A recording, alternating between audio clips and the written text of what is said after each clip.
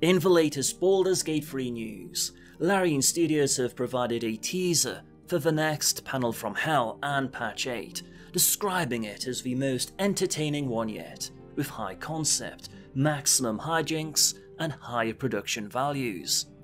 With three classes remaining Monk, Paladin, and Bard there is speculation that Patch 8 will deliver one of those, and may coincide with the final release of the MTG Battle for Baldur's Gate set, which comes out on June 10th.